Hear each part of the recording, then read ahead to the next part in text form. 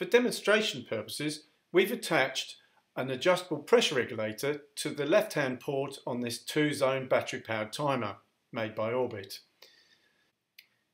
Now the conical side of the pressure regulator can be undone. There's a little white stem inside with a spring. If we undo this, we can see that.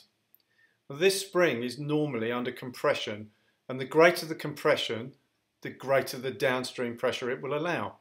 The turnbuckle inside will allow you to adjust that compression on the spring. It does have a range between three quarters of a bar and around about 2.2 bar, which is the operation type of range that you'd use with a leaky pipe.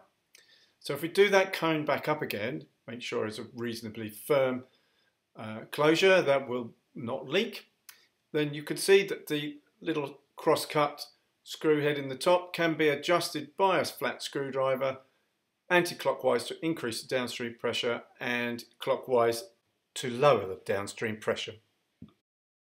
It's protected by a little white plastic cap to keep the dust out and that cap will show a plus minus on it.